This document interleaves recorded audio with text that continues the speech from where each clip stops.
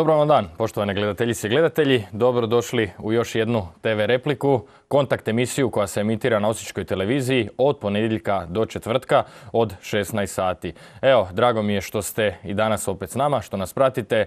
Za sve one koji su se prvi puta uključili u našu emisiju. Evo želim vam dobrodošlicu, a svi oni koji nas prate od samih početaka, uistinu želim da nas pratite i dalje, jer svakodnevno pokrećemo razne teme koje zanimaju i lijeve i desne, i one u centru i one neopredjeljene. Uistinu nitko ne može reći da za svakoga nema po nešto kod nas na Osječkoj televiziji. Ali evo, Danje, mislim, dvije, tri emisije nismo baš pričali o politici, nismo pričali o onim temama i stvarima koje nas se također tiču. Svi smo mi građani, svi mi zaslužujemo svoj glas dati najboljoj ili najboljem. A to je nešto o čemu ćemo prije svega, ukoliko se još nismo opredijelili, odlučiti u narednih nekoliko dana.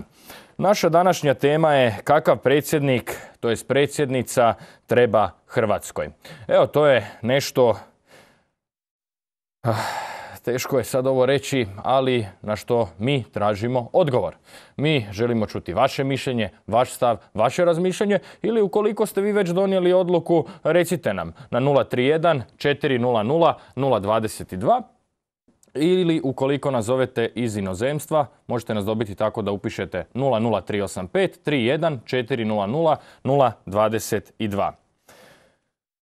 Kao što evo, većina javnosti zna da u noći sutorka na srijedu, to jest u ponoć, Istekao je rok za predaju potpisa za kandidaturu na predsjedničkim izborima, koji se održavaju 22. prosinca. A Državnom izbornom povjerenstvu više od 10.000 potpisa predalo je čak 11 kandidata. Neki su se nadali također da će skupiti tih 10.000 potpisa, nisu svi uspjeli. Oni koji nisu uspjeli, evo ovim putem im čestitam na trudu. Oni koji su uspjeli, im čestitam naravno na uspjehu. Evo, mi danas imamo, znači, 11 kandidata. Čujemo li se? Čujemo se, sada utišam malo. Ajde, molim vas, hvala. Da, obavezno to. Kakav treba biti predsjednik ili predsjednica? Da. Štedljiv ili štedljiva. Mhm. ništa posebno ne treba. Ovo sve drugo rade ovi oko njih. Mhm. Znači, A gdje bi se po vama još moglo uštedjeti novaca? A ovo ima, ima, ima. Da? Ima, vrate mili. A da, Jeste, vi već donijeli, jeste vi već donijeli odluku ili još razmišljate kome ćete dati glas? Ma već sam ja donio, nema problema. Šta sam htio reći? Ovaj, e, bio sam u Karancu sad kad je bilo tamo, jel to? Aha, Čvarak fest. Čvarak fest. Da, dobro, lijepa, lijepa manifestacija. Moglo bi biti više čvaraka? Da, da, sam da vam kažem. Došao sam tamo i sve skupo, znači nisam ništa kupio. I ja mhm. sam se uredno vratio kući, znate. Međutim, kod predsjednika ili predsjednice koji idu negdje, toga nema. To moraš ili, ili potrošiti ili, ili, ili izgubiti, dobiti ne možeš. Samo moraš, možeš izgubiti. uh A da, dakle, da vam kažem, samo štedljivi trebaju biti, ništa više. A ovo drugo sve rade ovi saradnici njihovi, suradnici, kako ćete uh reći. Znate? A da, eto tako kustro. Evo, hvala profesor, profesor psihologije vam kaže i to je svetija. Evo, hvala vam na vašem javljanju, ugodan nam ostatak dana. Evo, pratite nas i dalje od ponedjeljka do četvrtka. Evo, recite nam i vi, drage gledateljice i gledatelji, što vi mislite, što vi želite, što vi očekujete. 031 400 022. Evo, dok čekamo vaše pozive, čujemo li se? Evo, ukoliko nas ne možete dobiti, pokušajte ponovno. Čujemo li se? Dobar dan. E, dobar dan, poštovanje. Od, ovih 12 kandidata... 11, 11. 11 kandidata imamo samo jednog kandidata da? koji će biti predsjednik države, to je gospodin Škoro. Aha. A zašto mislite da će on biti? Zato što je Hrvat, zato što je katolik, uh Hrvat, zato što je katolik i zato što voli svoju državu. uh I zato što ima ljude zaposlene zato što je privrednik. Ima ljude zaposlene, ja sam gledao jednu emisiju, svi njegovi radnici su super zadovoljni. Super zadovoljni. A ovi drugi, a ovi drugi nikad u svom životu nisu ništa napravili sa svojih deset prstiju. Nikada. Samo su se oslali na državu, na vanjske poslove, samo sa jednog položaja na drugi položaj. I A, samo a- gledaju sebe i nikoga više. Vi, vi mislite, vi mislite da bi onda se i trebale po- povećati ovlasti predsjednika? To je predsjednice Republike Normalno, normalno da se treba povećati ovaj, ovlasti predsjednika. Šta će nam, šta će nam fikus predsjednik? Šta će nam fikus? Da. Nama predsjednik treba, ako hoće da se referendum bude, pa ste vidjeli šta se dešavalo s onim referendumom kad su ljudi 400 tisuća glasova.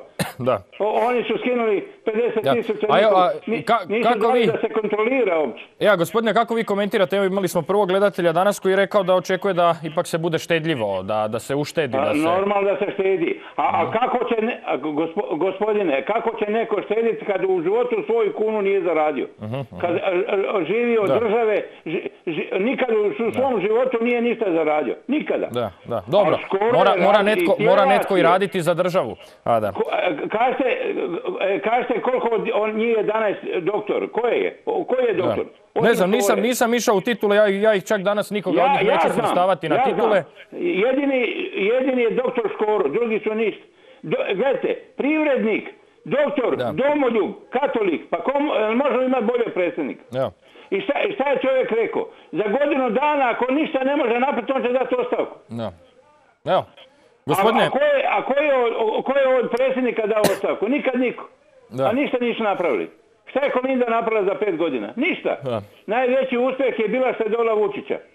I što je donao tonu WC papira, ništa više. evo, ništa gospodine, hvala vam na vašem javljanju, što ste nam rekli svoj stav, svoje razmišljanje, ugodan vam ostatak dana. Idemo čuti i naše druge gledatelje. Evo, zanima nas vaše mišljenje, vaše razmišljanje, 031 400 022. Znači imamo 11 kandidata koji su uspješno prikupili više od 10.000 potpisa. Evo, ja ću nekim redom kako su predavali potpise njih i pročitati. Zoran Milanović 78.000 potpisa, to jest oko 78.000. Mislav Kolakušić oko 15.000 potpisa. Nedjeljko Babić oko 14.000 potpisa. Dejan Kovač oko 16.000 potpisa. Anto Đapić oko 13.000 potpisa. Evo, nastavljamo nakon poziva. Čujemo li se? Čujemo li se? Dobar dan. Dobar dan, poštovanje. Zovem iz, Vuko, zovem iz Vukovara. Evo, recite, Samo gospodo. za Škoru. Aha, zašto za njega? Samo za Škoru. Da, On zašto- je naš. Aha, aha. A zašto za njega, gospođo?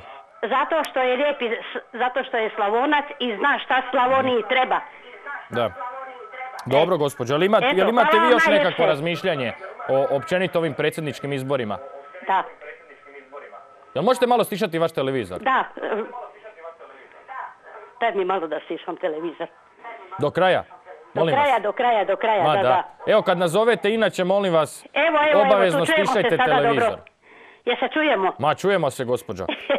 Da, da. Samo, samo za Škoru, jer Škoro je naš čovjek, Da. on zna šta Slavoniji treba. Treba svu djecu koja su otišla u inostranstvo da se vrate. Neka otvaraju dobro radna Da, mjesta. ali to, ali to, ali to realno nisu ovlasti predsjednika. Pa Da, dobro, treba njemu me- ovlasti da, Aha. treba, treba. da, da. da. Do sad niko ništa od predsjednika nije napravio. Da. E, Dobro, gospođo, evo, hvala vam na e, vašem hvala javljanju. vama, hvala vama. Ugodan vam ostatak dana, doviđenja. Iz Vukovara zovem. Dobro, hvala. Evo, čuli smo još jednu gledateljicu. Ja sam do sada pročitao pet njih po kronološkom redu kako su predali potpise. Rekao sam nastavljamo nakon poziva. Miroslav Škoro je skupio gotovo 80.000 potpisa.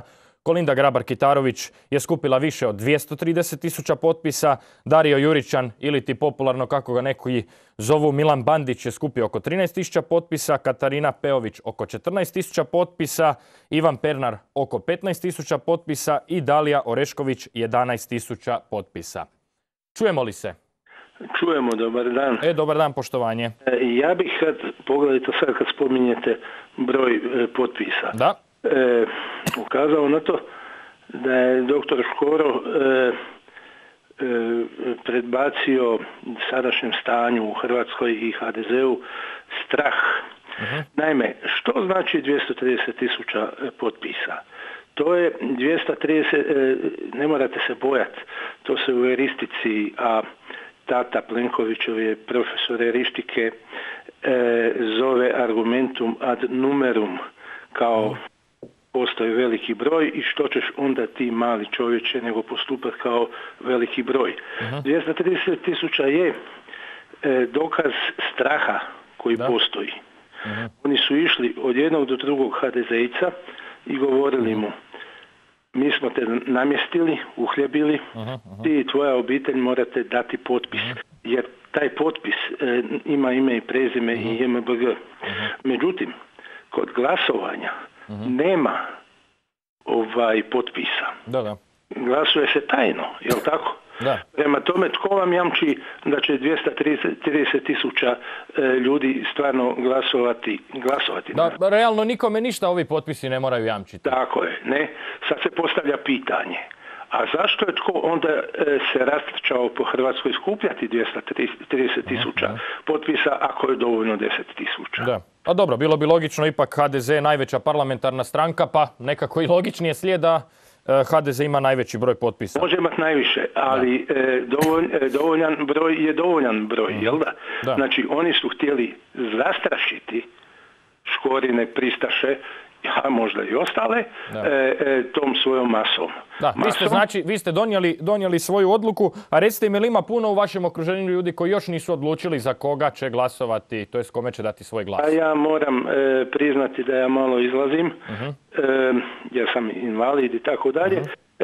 ali svi koji su oko mene, oko mene tu u Zagrebu jesu za doktora Škoru. ne zato što bismo bili previše protiv e, gospođe Kitarović. Naime, svi smo manje više glasovali za nju da ne bi Josipović mhm. dobio izbore. uh To je činjenica. Ali e, zato što nas je jako razočarala, mhm. zato što, dopustite mi to e, iznijeti, e, u slučaju Radeljić, kada je obavještena služba prijetila životu njezina savjetnika u njezino ime. Uh-huh. Čovjek iz obavještene, iz vrhova obavještene službe je došao i rekao Da, dobro, tu, tu znamo priču, da, u medijima e, da, bilo. ali gledajte što je gospođa, e, što je gospođa e, Kitarović rekla e, na svršetku balade. Ona je rekla, ja sam njemu dala otkaz zato što imam pravo na to.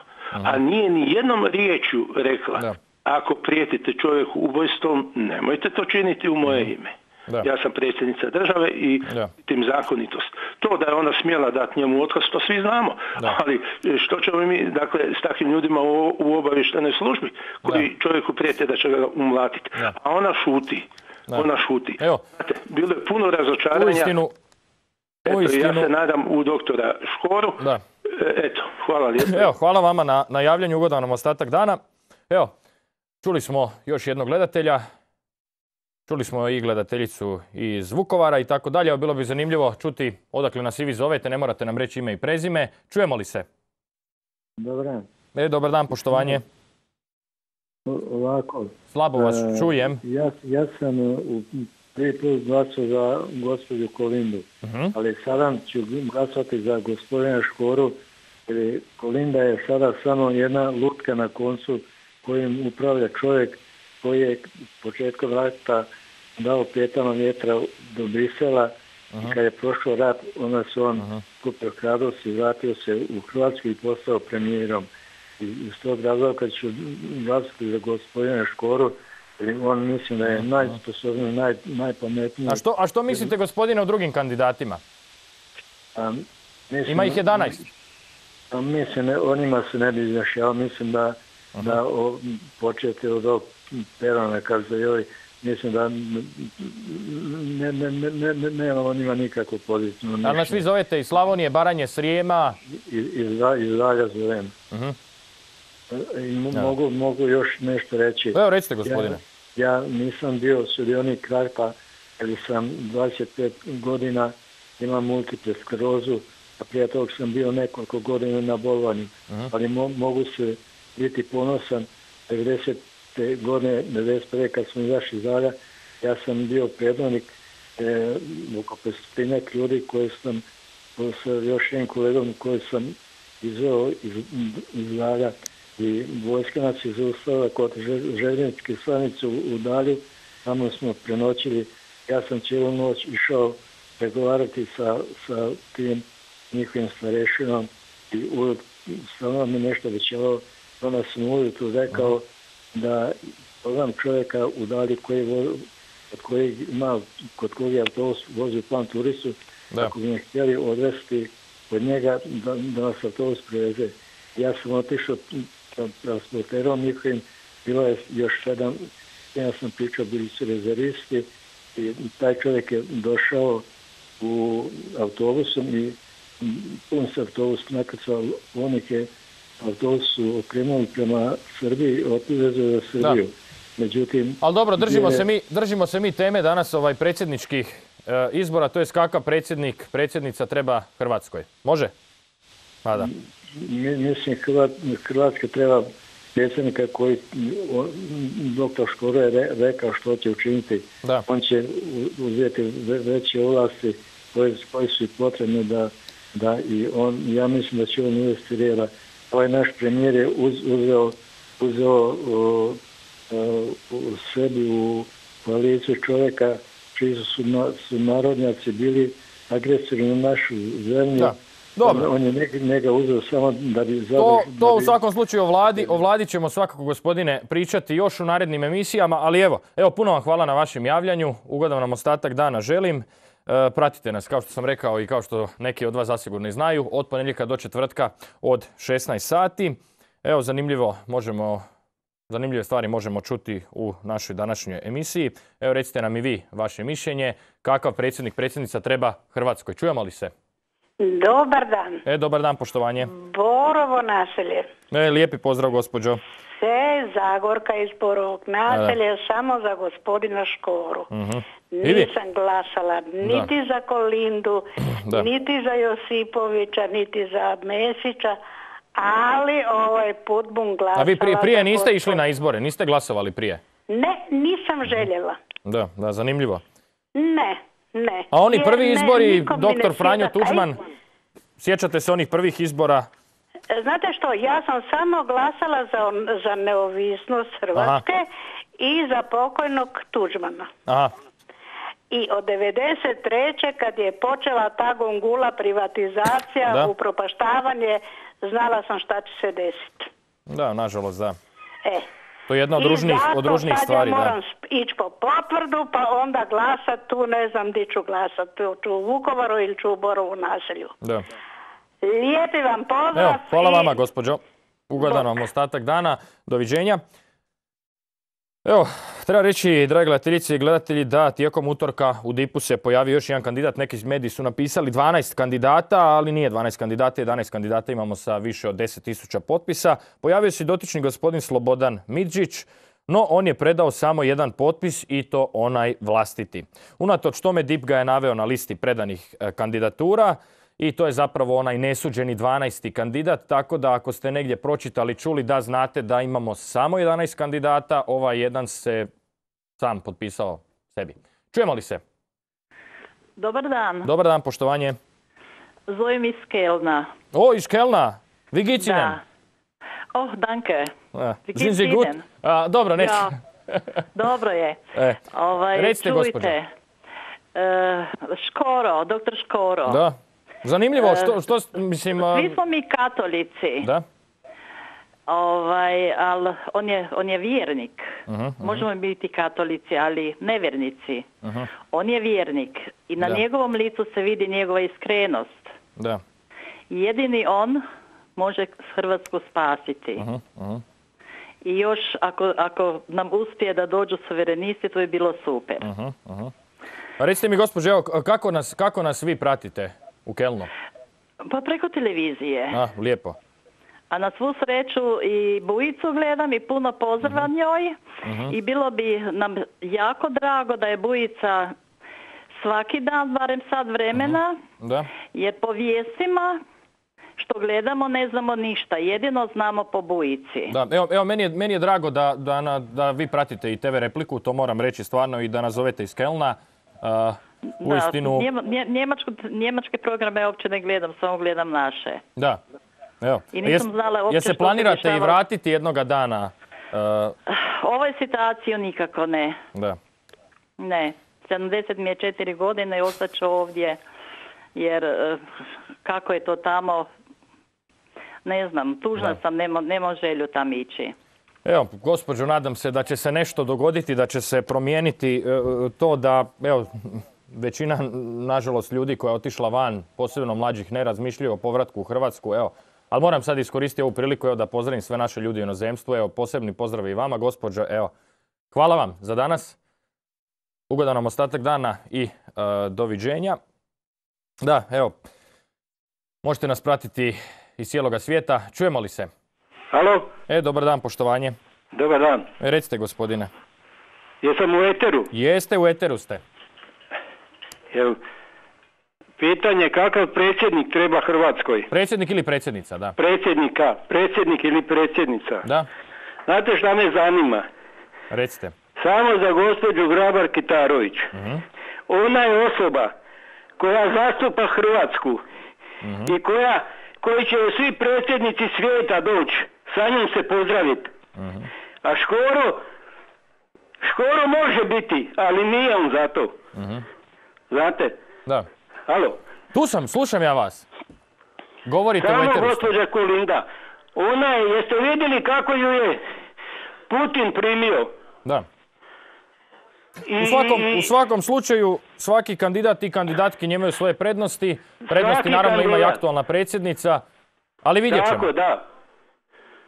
Evo, gospodine, evo, hvala vam na vašem javljanju. Ugodan vam ostatak dana. Evo, pratite nas i dalje. Treba reći da kad istekne rok za predaju potpisa, taj rok je istekao s utorka na srijedu, to jest u ponoć, DIP ima 48 sati za provjeru i objavu listu kandidata. Dakle, do četvrtka u ponoć, kada službeno i kreće kampanja. Čujemo li se? Dobar dan. Dobar dan, poštovanje. E, pitanje je kakav predsjednik treba Hrvatskoj. Ili predsjednica. Imamo i kandidatkinje, pa evo. Ma znam, ali da. Evo, go slušam ovoga prethodnika i taki, ne daj Bože, da ih ima više i Mhm. e, razumijete, Hrvatskoj, Hrvatskoj treba predsjednik po mjeri kakav je gospodin doktor Miroslav Škoro, Mhm. koji je došao iz naroda, koji osjeća bilo naroda, koji kad je završio fakultet nije bio već preodređen za š- z- političke škole u Engleskoj. Ni, iza njega ne stoje nik- nikakve, kako bi rekao, o, e, strukture, već se zna, kao i za nekih. On je čovjek po mjeri i zaista je sad ili nikad. Mhm. Evo, On razumije i osjeća a odakle nas, ovo. odakle nas vi zovete? Pa tu sam ja iz Slavonije. A, Slavonac, dobro. Slavona sam ja, blizu sam ja i često sam ja dolazio u vaš grad i sve. Neka i treba. Ipak, Ali- ipak ali, Osječani evo, ja vole sam- reći da je Osijek centar Slavonije i Baranje, ali evo, Je, je. Ja, možda ćemo i reprezentaciju imati prilike sad gledat često. naravno, evo, Ja tome sam se svi veselimo. ja ću ako treba i četveronoške glasat za doktora Škoru, Da. a ovi svi što su za predsjednicu i to, to su no, jugonostalgičari i ono njima odgovara o stanje nečinjenja. Ona bi nosila Bandiću kolače, pa nek nosi kad bude Da. civilna osoba i uskoro će imati prilike. Pa ne znam, evo vidjet ćemo što će se zapravo još dogoditi. Vrijeme je pred nama, jel tako? A Da, sve vidite, ovaj hrvatski narod sad ako se ne otrijezni, neće imati puno prilika. Da, Neće imati puno prilika, da. jer ovo nikome ne odgovara. Evo, Ovo gospodine, odgovara samo pojedinima 1% ljudi koji dobro žive. da. Evo, hvala vam, hvala vam na vašem javljanju. Evo, idemo dalje sa emisijom čuti i druge gledateljice i gledatelje. Evo, recite nam vi vaše mišljenje kakav predsjednik, predsjednica treba Hrvatskoj. Čujemo li se? Dobra večer. Dobar dan, poštovanje. Slabo vas čujem. E, dobar dan. E, dobar dan. Recite. E, zovem iz Gundinaca. E, lijepi pozdrav. E, moj favorit je Miroslav Škoro. Da? Inače sam glasao za Kolindu Grabar Kitarović, međutim, razočarala me u svome ponašanju i tako da sam promijenio sada. Da, a, za- a zašto, zašto, zašto Škoro? Pa zato što mi izgleda onako puno ozbiljniji čovjek, ne samo što je ozbiljniji, nego je za- zaista radnik je čovjek. On je jednostavno radnik, Da, da. ništa više. On je radnik ili radi svoj je posao radio čitav život, nije bio Leziljebović, tako to je moje mišljenje. Evo, hvala vam gospodine na vašem javljanju. Ugodan vam ostatak dana. Evo, čuli smo još jednog gledatelja. Recite nam i vi vaše mišljenje. Ukoliko nazovete iz inozemstva 00385 31 400 022. Moram istaknuti da su pozivi u našu emisiju jednaki visini poziva kao kad zovete svog prijatelja ili susjedu, znači ne naplaćuju se ništa dodatno pozivi u našu emisiju i s tim smo mi kao televizija pokazali da smo socijalno osvješteni i da svim ljudima želimo omogućiti da se njihov glas čuje bez obzira imaju li novaca ili nemaju novaca. Prije svega zaslužuju naši građani, gledateljice i gledatelji da kažu isto svoje mišljenje u eteru i to smatram da uistinu i trebate iskoristiti. Jer mnogi često misle da se njihov glas ne čuje, ali to jednostavno nije tako. Uvijek netko sluša i vaš glas se čuje. Čujemo li se? Čujemo, dobar dan. Dobar dan, poštovanje. Ja zovem iz Njemačke. O, imali smo gospođu iz Kelna danas. Slušao sam je. Da, recite gospodine. A slušam ove vaše javljatelje, ja ne mogu shvatiti da li ovakvi ljudi, još ima, čujem jednoga, Kaže, ovi koji, koji glasaju za Kolindru da su oni jugo nostalgičari. Joj, Bože moj dragi, šta je to reći? A čujte, zato je naš, naša linija otvorena. naša linija je gospodine otvorena, evo, i da se čuje i drugo mišljenje. Može se čuti i vaše i, i, A i dobro, ali ne može on nazvati ljude da su jugo nostalgičari ako ovako glasaju za Kolindru. Da. Gdje to? Da on zna koliko je Kolindra popularna u svijetu, mhm. taj čovjek ne bi nikad rekao riječi. Da. Ako biraš imaš pravo da je vrijeđaš. Ako ne biraš nju, nemaš pravo o njoj govoriti. uh A da nam Bog pošalje anđela i kaže on će vam biti predsjednik, pola bi reklo, e, on je lopov, da je valio vama, ne bi ga poslao nama. Da. Ja to ne mogu vjerovati. Vi ćete, vi ćete, znači, vi ste donijeli, gospodine, znači odluku? Ma ja nikada nisam svoje mišljenje promijenio, neću nisada, ali slušajući ove ljude, zaista je sramotno. Škori svaka čast kao pjevaču kapa dolje. uh ali kao predsjedniku nema iskustva, nema ništa. Hoćete li damu Srpkinju? uh Hoćete li Hrvati? Da vam bude prva dama Srpkinja? Da. Ovako bilo kakav, vidite, e, to možemo pričati, ali bilo kakav oblik pitanju nacionalne osnove jednostavno nije prigodan za televiziju. Što je istina, Ali mišljenje reći apsolutno možete. Pa to je moje mišljenje. Da. Evo recite mi ovaj, kako vaša sredina, okolina, Jesu ljudi podijeljeni u Njemačkoj? Nisu? Super.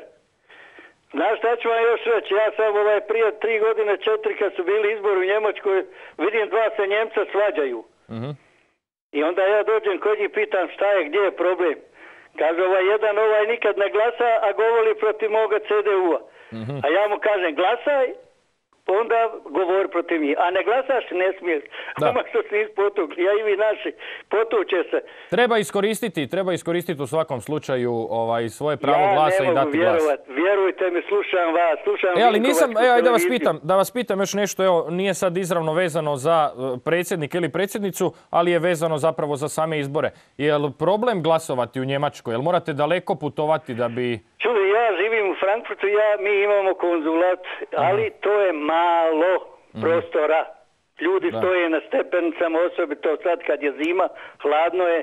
Naš novi konzul koji je došao, čujem iz Minhena da je tamo sve pokvario, došao je nama.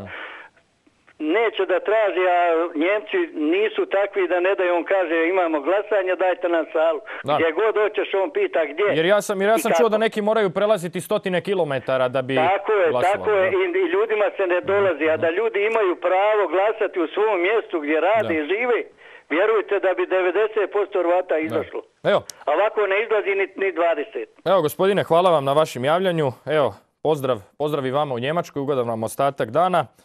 Pratite nas i dalje. Treba istaknuti da je potpredsjednica Državnog izbornog povjerenstva Vesna Fabijančić-Križanić potvrdila kako je od 12 kandidatura za predsjednika države koje je povjerenstvo zaprimilo, jedna, to je Smiđićeva, nije sa potrebnih 10.000 potpisa. Čujemo li se? Halo, dobar dan. Dobar dan, poštovanje. Zovem... Halo? Čujemo se, recite gospođo. ja sam vaša slušateljica. Odakle nas zovete? E, zovem iz Našica. A iz Našica. Znači Slavonka. Evo recite... Slavonka i sviđa mi se vaša emisija. Evo, hvala vam gospođo. Kako vi vodite. Da. I ovaj, slušam i često puta se pitam kakav smo mi narod. Da. Da, da se tako na nekoga može ružno govoriti, a nemaju osnova. Mhm. Jer e, glasam za gospođu Kolindu. Mhm. I hvala vam lijepo. Da, evo, hvala i vama gospođo. Jeste još tu? Evo, gospođa Nemešar iz Etera, htio sam pitati još jedno pitanje, ali nema veze, biti će e, prilike. Čujemo li se? Čujemo li se? Alo. Dobar dan, poštovanje. Dobar dan. Samo za Kolindu. Da. A za nikoga drugoga? Za nikoga, samo Evo, za zanimljivo. Ja sam do sad, znači, danas u emisiji samo čuo gospođa Kitarović i gospodin Škoro. Nisam čuo Ne. ni za jednog drugog kandidata, to je kandidatkinju. Ne, ne, samo za Kolindu Da. i neka pati kome smeta. Da, dobro. Evo, hvala vam gospođo na vašem javljanju. Ugodan vam ostatak dana. Evo, čujemo razna mišljenja naših gledatelja i gledateljica. Želimo čuti i vaše mišljenje. Čujemo li se? Dobro večer. E, dobro večer, poštovanje. E, za Kolindu samo. E, treba joj dati ipak još jedan mandat. To je jedna dobra čvrsta ruka. Mhm. A mislite li, mislite li vi da će biti drugi krug? Pa, ja mislim. Da. I, ko, I tko će po vama ući u drugi krug, šta mislite? Pa ja bi volila da bude, da to ne bude da uniđe Ko- Kolinda odmah da pobjedi, gotovo. Da nema ni prvog ni drugog kruga, ni ništa. Da, da, da. da odmah bude. Eto, to bi bila E. moja želja. Evo, hvala vam na vašem javljanju, gospođo, ugodan vam ostatak dana. Evo, uistinu, kad bi sve završilo u prvom krugu, to znači da bi država uštedjela. Znači, manje novaca bi potrošila, jer ipak treba platiti članove biračkih odbora i tako dalje i tako dalje. Čujemo li se? Trebala bi baš... e, Dobar dan. Dobar dan, poštovanje. E, zovem iz Osijeka. E, lijepi pozdrav, gospođo. Jel možete malo stišati vaš... Jel možete moja malo... je želja i savjetujem Da. i savjetujem svim Slavoncima Mhm. da glasamo za gospodina Škoru jer je vrijeme da se jedan put promijene E, jel možete malo stišati vaš televizor? Gospođo, jel možete stišati vaš televizor, molim vas? Jeste tu? Vrijeme je da nešto promijenimo u Hrvatskoj. Da. I glasam, i ja ću glasati otvoreno, kažem, za gospodina Škoru. A mislite li vi, gospod- I savjetujem svima Mhm. Slavoncima da glasamo za Da, Škoru. da. A, kakav, a kakav predsjednik po vama treba biti? Dobro, vi ste rekli ime Jer kandidata. on je čovjek radnik. Mhm, Nemam ja protiv ništa Kolinde. Svaka njoj čast. mhm, Ja sam zadnji put glasala za nju. Ali trebamo promijeniti. Ne moramo im uvijek biti bi HDZ i SDP. Mhm. Treba nešto drugo promijeniti u Mhm. Hrvatskoj. Mhm. I to je moje mišljenje i doviđenja i puno vam hvala. Evo, hvala vama gospođo na vašem javljanju. Da. Ugodan vam ostatak dana. Upravo smo mi, drage gledateljice i gledatelji, tu da vi kažete svoje mišljenje. Imamo znači 11 kandidata. E, DIP planira, to je Državno izborno povjerenstvo, održati sjednicu u četvrtak, najvjerojatnije u 12 sati. Tada će utvrditi listu, službenu listu kandidata za predsjedničke izbore. Čujemo li se? Čujemo se jako dobro. E, lijepi pozdrav. Stalo ja vas pratim, stalo se ja s vama čujem. E, drago mi je gospođo, neka. E, zvako, nema veze ko će biti prijedsjednik. Mi Mhm. ćemo, mi ćemo uglavnom glasat koga izaberemo. Da. Koji bude bolji. Da nas izvuče iz države ovi. Da mi ne idemo na prsjački štap. Mhm. To je nama važno. A Mhm. ne da se štrajkuje i da se čeka kad će koko, kad će koko me pružiti koji dinar. Mhm, mhm. Da nas izvuku iz ove države. Da, koji pobjedi, pobjedi. Da, da, bude, da se da, mi ne, da budemo da maltene ne prosimo. Da, ali vi mislite E. da treba možda povećati ovlasti predsjednice ili predsjednika?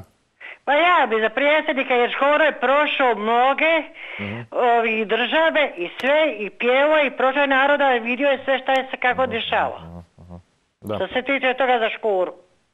Evo, hvala vam gospođo na vašem javljanju. Evo, ugodan vam ostatak dana. Evo, kao što sam rekao, u četvrtak već u znači ranim poslijepodnevnim satima nam kreće izborna promidžba, kreće kampanja. Čujemo li se? Da, da, naravno čujemo. E, dobar dan, poštovanje. E, dobar dan. Jel opet? Je. Ajde, recite gospodine. Evo ovako, što se tiče, e, odmah ću reći za koga ću glasati, to je gospodin doktor znanosti Škora. Mhm. E, imao sam osobitu čast da sam ga u mladim njegovim mojim godinama imao priliku osobno poznati. Mhm. Boljeg čovjeka za Hrvatsku još majka rodila nije. Mhm. Od njega. Da. A zašto to mislite? Zato što mislim ka- da je kao prvo pošten, iskren, jedno, jednu lipo nikoga u životu zakinio nije. Mhm, mhm.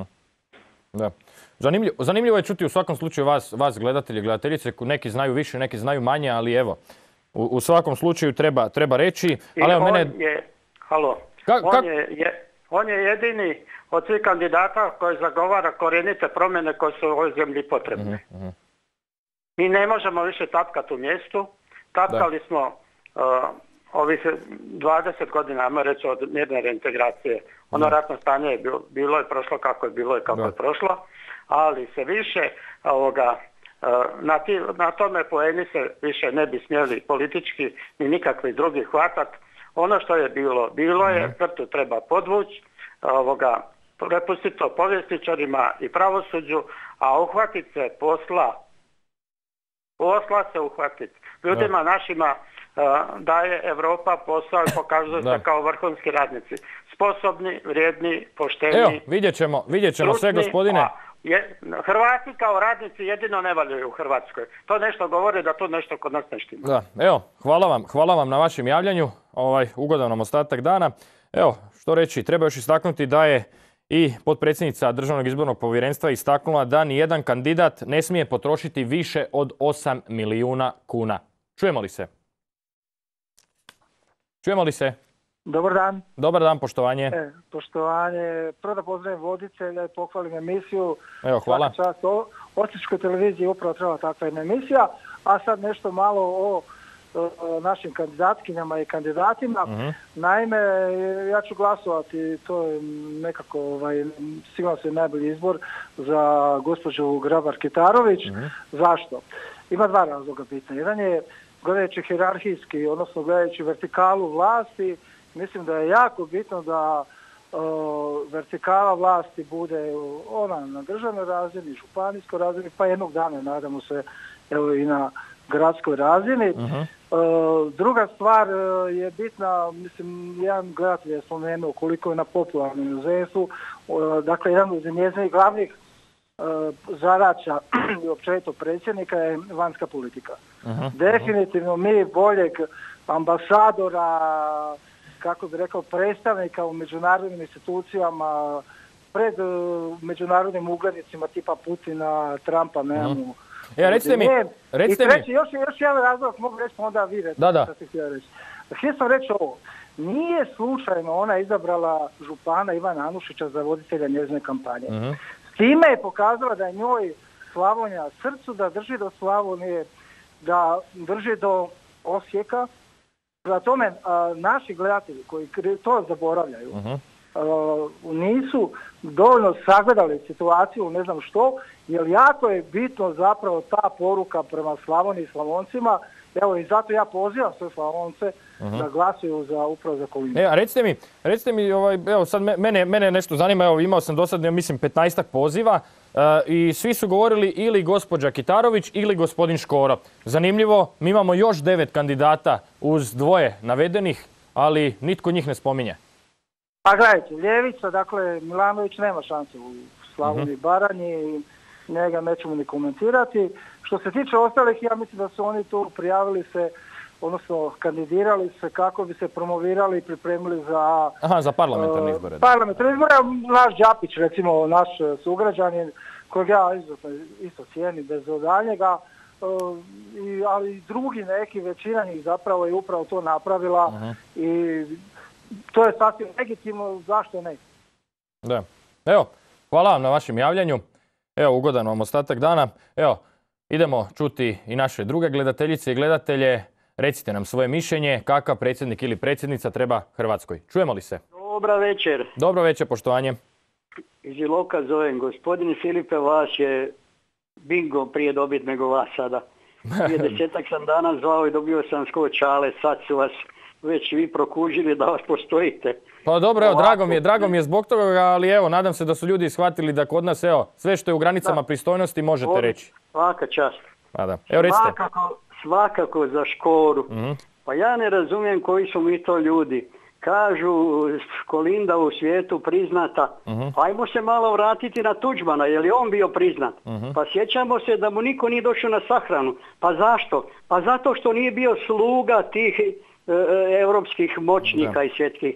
Zato mu niko nije došao na sahranu. A zato je Kolinda i Plenković, zato su poznati u Europi i u svijetu. mhm. Treba služiti velikim gazdama i onda ćeš biti Da. priznat. Da, uskoro nam se i bliži obljetnica, kad ste već spomenuli pokojnog predsjednika doktora Franju Tuđmana, bliži nam se i obljetnica smrti doktora Franje Tuđmana, pa evo, u svakom Da. slučaju bit će, bit će i emisija vezana za doktora Franju Tuđmana. da, da, znači, da, vi ste donijeli svoju odluku, a recite mi kako diše Ilok, kako diše vaša sredina? Ha, Ilok, tako, tako, ne znam, ni ja, podijeljeno je. HDZ se još ko prca, iako je otvrknio, nema ga nigdje. Mhm. Naša gradonačelnica je potukla do nogu, rušili su proračun, imali su gradsko vijeće, većinu Mhm. Da. i oni ruše proračun. Svoj, svog gradskog vijeća. Zašto? Tako da bi u drugom krugu, kad ponovo sruše, to vi sigurno znate, Da. da, bi rušili i gradonačelnicu, ali su se zeznili. Pa je Nezgodno, gradonačelnica dobija, njena lista dobija većinu u gradskom vijeću i sad nek se slikaju. A, I evo, HDZ će doživjeti Labudova masu. da, evo, vidit ćemo sve. Hvala vam na vašem javljanju, ugodan nam ostatak dana. Evo, istinu, vrijeme će pokazati što će se dogoditi, tko će pobijediti, hoće li ostati ista predsjednica ili će biti netko drugi. Recite nam i vi vaše mišljenje, čujemo li se? Čujemo se, dobro večer. E, lijepi pozdrav. Lijepi pozdrav i vama. Evo, gospođo- slušamo vašu emisiju i uključili smo se prvi puta. Evo, hvala. Glasamo, glasamo za Kolindu, predsjednicu Kolindu. Je, ovo sve što se prijavilo, to bi nas unazadilo opet za deset godina. Ja, recite mi, o, odakle nas zovete? Slavonija, Baranja, Iz? Baranje, iz Baranje, iz Petlovca. Da, evo lije- lijepi pozdrav, lijepi pozdrav Petlovcu. Ovaj, a recite mi gospođo, ovaj, šta mislite o ovim drugim kandidatima i kandidatkinjama? Pa ništa, ništa. Ništa posebno, to je sve mlado i nezrelo baš za, za predsjednike. Samo Kolinda i niko drugi. Da, evo vidjet ćemo, vidjet ćemo sve, ali hvala vam na vašem javljanju. Evo pratite nas i dalje, ugodan nam ostatak dana. Doviđenja. Evo, koliko će potencijalni kandidata uistinu ući u igru za Pantovčak, znači se kada Državno izborno povjerenstvo pregleda sve ove potpise, ali kako svi već govore imamo 11 kandidata, doduše e, nešto više kandidata imamo nego li na posljednjim predsjedničkim izborima. Treba istaknuti da iako su najavljivali da će i oni ući u utrku za Pantovčak, u konačnici nisu to baš učinili svi. Na primjer, bivši potpredsjednik Račanove vlade Ante Simonić, saborski zastupnik i bivši član Mosta Tomislav Panenić, a, bivši model ili što već ta gospođa je Ava Karabatić i tako dalje. Neki nisu skupili, znači tih famoznih 10.000 potpisa, nisu uspjeli, više sreće drugi put. Čujemo li se? Halo, Dobar dan, poštovanje. dobar dan. Evo, recite gospođo. Ovako, jesam ja u Eturi sad? Jeste, gospođo, u eteru ste. Ovako, ovaj, zovem ovdje iz Slavonije. Mhm. Pa, ne znam šta bi rekla na sve ovo. Toliko gluposti i primitivizma, užas jedan. Da. Ovaj, No zato vi, gospođo, recite ono što vi smatrate da je u redu. da. A, da. Bitno je valjda kad birate a, kandidata za predsjednika, Mhm. da onda vidite i svitu koja ga podupire, koga gura, ko će poslije doći ovaj, do izražaja. I ako ovi stvarno agresivni, ovoliko u kampanji, dođu ne do Bog, blizu gdje se ovaj politika kroji, mi smo nadrapali. Mhm, mhm, Ovu agresivnost ovoliku, mhm. to je strašno nešto. Za koga? Za čovjeka koga uopće ne poznaju. Oni Da. ne znaju ko je on. Pa ili ne znaju na kakve se on sve načine u toj svojoj karijeri ovaj, bori, kako svoje prijatelje gazi. Premazan je svim mastima. Mhm. I Da. sad su na Kolindu toliko, ja nisam toliko oduševljena, zaljubljena u Kolindu, ali ona je najmanje zlo od ovoga svega što se nudi. Ovo je užas. Ali evo, Ovo vidjet ćemo. užas. Vidjet ćemo što će nam vrijeme, vrijeme donijeti, a kako kod vas diše sredina? Jeste ljudi podijelili? Pa podijeljeni su normalno ovi, ove lokalne e, radiostanice, televizije, to, kažem baš, toliko agresivno pumpaju i to naglašavanje doktor, pa doktor, pa doktor. Ja nikog nigdje nisam čula da toliko titulu naglašavaju, to mi je iritirajuće. A čujte, svako, svako nešto što voli, trebamo dozvoliti ljudima da kažu što vole, ali evo. Da, ali su agresivni, toliko su agresivni da je to strapa. Kad to sutra pustiti na vlast, pa to, to će biti užas jedan. Ja ne znam šta nas očekuje sutra. Pogledajte vi samo svitu koja, koja tu ide iza toga i ko podržava njega. Mislim, ja protiv čovjeka nemam ništa, stvarno. Da. Ali pogledajte vi. Prvo to je guranje iz inozemstva, one ekstremnijeg dijela ovaj, hrvatskog naroda. Da, ali dobro, nisu, nisu, nisu, nisu, nisu ovaj svi ekstremni. Čujte, to, to moram i ja reći, ja znam i, i ljevičara i onih koji nikada nisu glasovali ni za jednu desnu političku opciju, a žive vani u Njemačkoj. Tako da to ne mora generalno ništa da, znači. Jel vam nije čudno da sad i ljevičari i desničari podržavaju njega? Ne znam, vidjet ćemo. Evo, kažem, meni je fascinantno da ja evo, u cijeloj emisiji do sada, evo, svi su govorili ili gospođa Kitarović ili gospodin Škoro, niti za jednog drugog kandidata i kandidatkinju. A ni nemate za koga. Ni nemate. Hoćete Milanovića koji ne zna ovaj, danas šta će reći sutra. uh Čovjek koji sam sa sobom ne može vladati. Evo vidjet ćemo. Evo, hvala vam gospođo na vašem javljanju. Ugodan vam ostatak dana. Evo, dragi gledateljice i gledatelji, emisija nam se približava kraju. Imate još malo vremena da nas nazovete. Ali, čujemo li se? Da. E, dobar dan, poštovanje. Da. E, dobar dan. Jel možete malo stišati vaš televizor? Evo, gospođa je prekinula. Uh, uistinu, kada nazovete u emisiju, molim vas, stišite vaš televizor, jer odzvanjate onda u emisiji. Ali treba reći da uh, prije pet godina u borbu za Pantovčak je krenulo samo četvero kandidata. Sad ih imamo 11. Čujemo li se? E, dobar dan, jesam u Eteru. Jeste, u Eteru ste dobro došli. E, ja vas pozivam iz Minhena. Mm, lijepi pozdrav Minhenu. Evo imali smo Njemačku, jedan gospodin, a onda jedan iz Kelna. Super, e, dva, dva slučaja sam čuo, ovo drugo ne. uh ovako, ja sam apsolutno prvi put u Eteru vašem. Da. I mogu vam kazati, dugo ovdje živim i e, staso sam sa demokracijom. uh Razumijete? Da, da. Ovo je za mene veliko bogatstvo živjeti ovdje u demokraciji. Mhm. Razumijete? Da, i recite mi kako vi gledate na ove predsjedničke izbore u Hrvatskoj. Sad ću vam kazati, ja sam gledao snimak ili uživo gospodina e, Škoru na RTL-u. Mhm, Taj je čovjek govorio iz moje duše. mhm. Demokratski. Razumijete? Demokratski. On ima pregled. On je ovisan od, od politike. I on nikom nije dužan u politici. mhm. Da ga ova prethodna gospođa napada, nije mi jasno. Nije mi apsolutno jasno. Hrvatsko ide loše i trebaju promjene. Bez promjena nema napretka.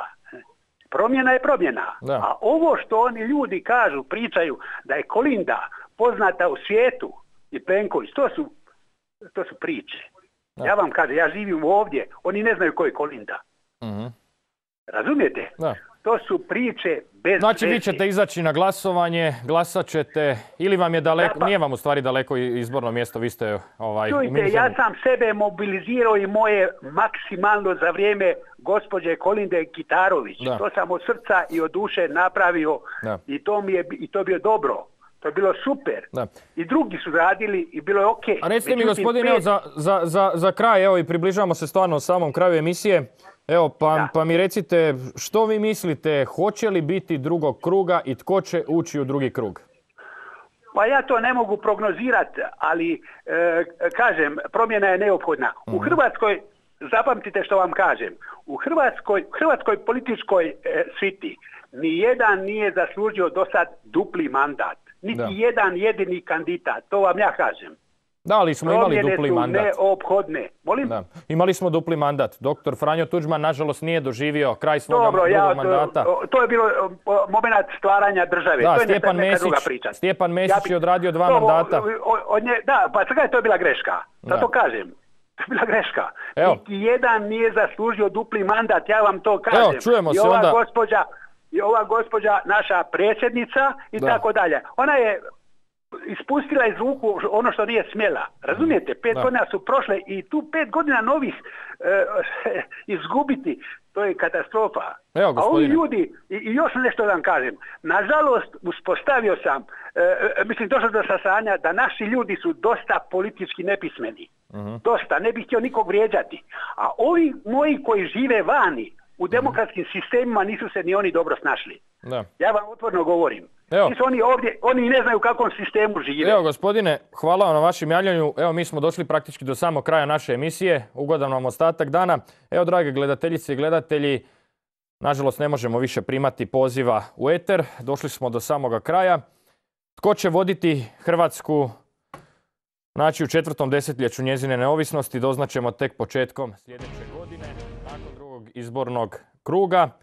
Prvih deset godina bilježe Franjo Tuđman, drugi deset Stjepan Mesić, te zadnjih deset Ivo Josipović i Kolinda Grabar-Kitarović. Predsjednici mogu uz vladinu suglasnost raspisivati referendume, predsjednici imenuju i predsjednika Vrhovnog suda i tako dalje i tako dalje. Što će se dogoditi vidjet ćemo, vi ste rekli svoje mišljenje, trebamo stvarno reći da imamo 11 kandidata i 11 kandidatkinja. Tko će pobijediti, hoće li ostati aktualna predsjednica i dalje predsjednica, hoćemo li dobiti predsjednika ili neku drugu predsjednicu, ne znamo, vrijeme će pokazati, ali prije svega vi ste, drage gledateljice i gledatelji, danas rekli svoje mišljenje u našoj emisiji. Pratite nas i dalje od ponedjeljka do četvrtka od 16 sati. Ugodan nam ostatak dana i doviđenja.